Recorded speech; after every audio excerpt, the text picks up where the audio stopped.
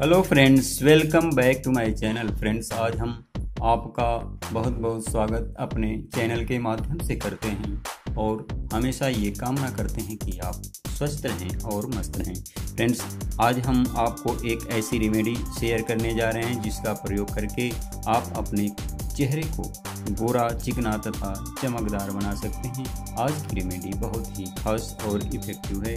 Friends आगे बढ़ने से पहले मेरी एक रिक्वेस्ट मेरा एक निवेदन, यदि आप मेरी वीडियो पहली बार देख रहे हैं तो प्लीज़ मेरे चैनल को सब्सक्राइब कर लीजिए और बाजू में बने बेल आइकन को ज़रूर ऑन कीजिए ताकि मैं जब भी कोई नया वीडियो अपलोड करूँगा तो उसका नोटिफिकेशन आपको आसानी से मिल जाएगा। फ्रेंड्स आइए जानते हैं कि इस रेमेडी में आपको किन किन चीज़ों का प्रयोग करना है। और उनका इस्तेमाल आपको कैसे करना है। पहले आपको ज़रूरत होगी राव मिल्क यानी कच्चे दूध की। फ्रेंड्स कच्चे दूध में ऐसे प्राकृतिक पाए जाते हैं ऐसे ऐसे तत्व पाए जाते हैं जो आपकी स्किन की चमक बढ़ाने के लिए बहुत ही बेनिफिशियल होते हैं।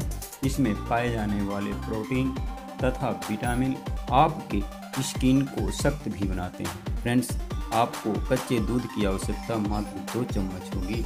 इसके अतिरिक्त आपको जो नेक्स्ट इंग्रेडिएंट लेना है, वह है मुल्तानी मिट्टी। फ्रेंड्स मुल्तानी मिट्टी जो होती है, आपके ओपन पोर्स को भी रिपेयर करने में बहुत ही बेनिफिशियल होती है तथा आपकी स्किन को चमकदार बनाती है। इसकी मात्रा आपको मात्र एक चम्मच इसमें लेना होगा। इसके अतिरिक्त जो आपको एक चीज़ लेना है, वह है हल्दी पाउडर।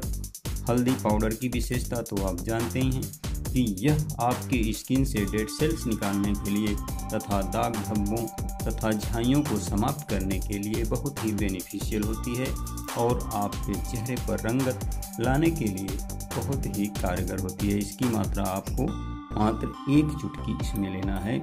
इसके अतिरिक्त आपको एक चीज़ जो लेना है वह है कोलगेट कोलगेट की मात्रा ज़्यादा नहीं जितना आप किस्त पे इस्तेमाल करते हैं, मात्र उतना ही लेंगे। कोलगेट के बारे में तो आप जानते ही कि ये सफ़ाई कितनी अच्छे से करता है। ये आपकी स्किन की जो गंदगी है, उसको खींच करके बाहर निकाल देगा और आपका स्किन लाइटें तथा चमकदार होगा। इसकी मात्रा मात्र इतनी ही लेंगे और इसके अतिरिक्त एक चीज़ और आपको लेना है, वह है लेमन यानी नींबू। अगर नींबू आपकी त्वचा पर सही इसका जो है इफ़ेक्ट नहीं आता है। अगर आपकी त्वचा इसको अवशोषित नहीं करती है या आपकी त्वचा के लिए अगर यह लाभदायक नहीं है तो आप इसकी जगह पर आप रोज़ वाटर का भी प्रयोग कर सकते हैं। नींबू का आपको ज़्यादा इस्तेमाल नहीं करना है, मात्र 10 से 15 बूंद नींबू का इसमें निचोड़ेंगे।